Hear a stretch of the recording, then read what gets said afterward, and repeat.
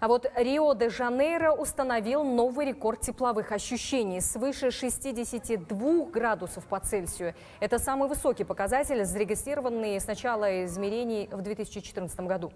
По данным метеорологов, фактическая температура в городе сдержалась на уровне 40 градусов. Чтобы спастись от жары, жители собирались на пляжах и в бассейнах. Местные власти предупреждают о рисках для здоровья из-за аномальных погодных условий.